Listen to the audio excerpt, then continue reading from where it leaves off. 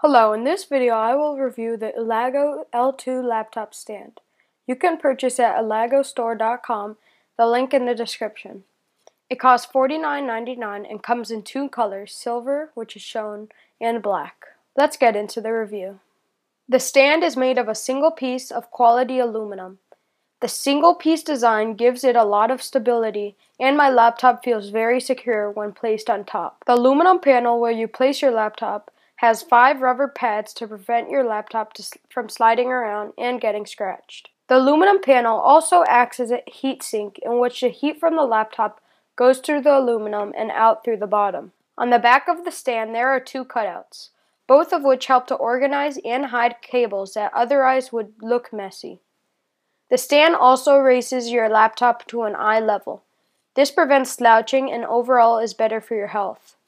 Because of the raised height, it is better to have an external keyboard and a wireless mouse. You can also use the space under the panel to store your keyboard so that you can have more room on your desk. The looks of the stand are highly professional and stylish. If you have one of the newer Apple MacBook Pros, you can see that the quality and style are built for each other.